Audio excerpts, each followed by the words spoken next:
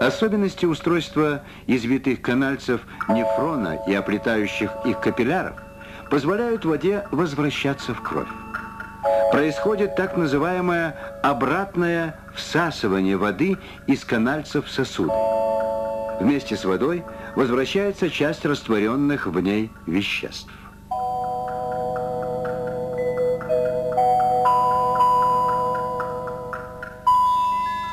Жидкость, оставшаяся в канальцах, стекает в собирательную трубку.